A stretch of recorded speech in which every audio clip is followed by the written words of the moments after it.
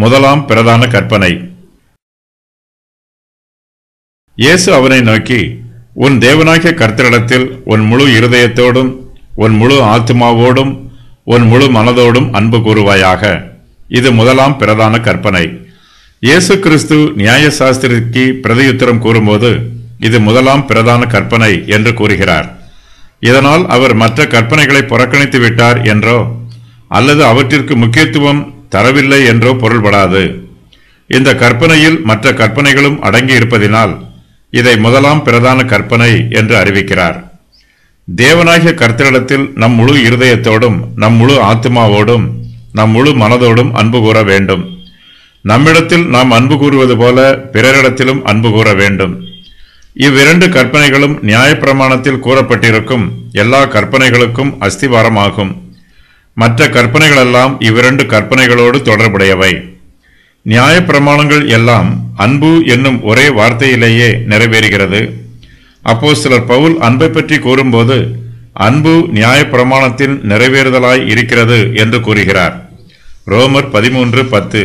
எல்லா கீழ்ப்படிதல்களும் அன்பிலும் பாசத்திலும் நேசத்திலும் ஆரம்பமாகிறது. அன்பு இல்லை என்றால் ஒன்றுமில்லை. அன்பே பாசத்தையும் நேசத்தையும் கொடுக்கிறது. நாம் தேவனிடத்தில் வரும்போது அன்பு நன்மை ஆளுகை செய்ய வேண்டும். அன்பு என்னும் கோட்டையை பாதுகாத்துக் கொள்ள வேண்டும். மனுஷனுக்கு அன்பு தேவை. ஆகையினால் தேவன் அன்பின் பிரமாணத்தை அவன் இருதயத்தில் எழுதியிருக்கிறார். அன்பு ஒரே வார்த்தைதான். ஆயினும் இது இனிமையான வார்த்தை. அன்பு நியாயப்பிரமாணத்தின் நிறைவேறுதலாக இருக்கிறது. இந்த கற்பனையின் நுகம் லகுவானது. அன்பு நமது ஆத்மாவை திருப்தி பண்ணும். அன்பே ஆரம்ப வழி. இதுவே முதல் பாதை முக்கியமான பாதை. அன்பின் பாதையே சரியான பாதை. இந்த வழியில் நாம் கடந்து போனால் மற்ற அனைத்தையும் நாம் கண்டுகொள்ளலாம்.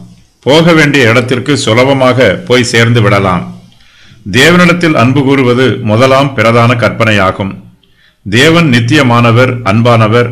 ஆகையினால் நாம் முதலாவதாக அவர் மீதுதான் அன்பு கூற வேண்டும். நம்முடைய முழு இருதயமும் முழு ஆத்மாவும் முழு மனதும் அவரிடத்தில் அன்பு கூற வேண்டும்.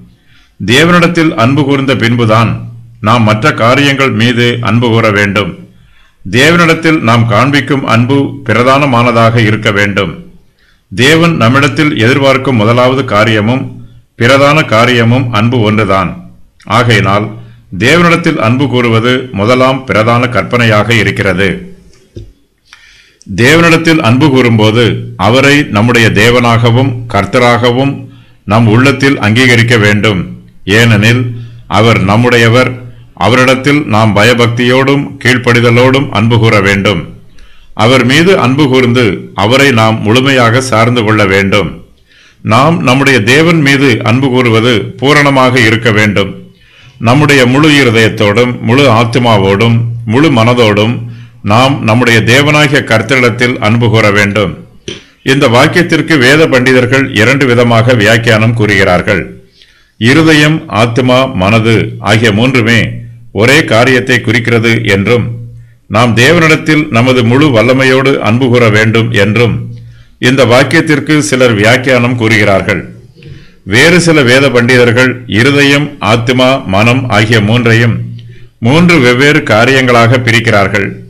இவை நம்முடைய சித்தம் பாசம் ஞானம் ஆகிய மூன்றையும் குறிப்பதாக இவர்கள் வியாக்கியானம் கூறுகிறார்கள். தேவனிடத்தில் நாம் அன்பு கூறுவது உண்மையானதாக இருக்க வேண்டும்.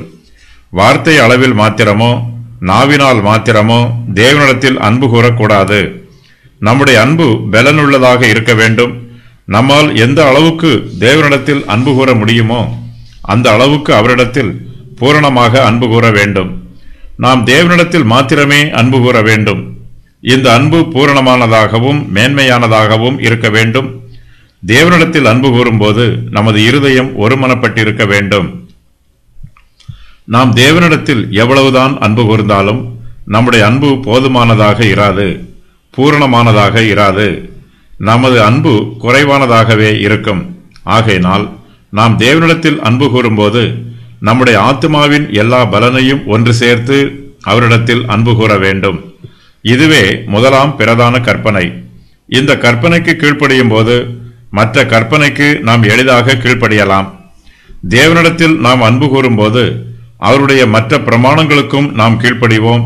அவருடைய கற்பனைகள் அனைத்தையும் கைக்கொள்வோம் தேவன் மீது நாம் காண்பிக்கும் அன்பு மூன்று இடங்களில் இருந்து வர வேண்டும்.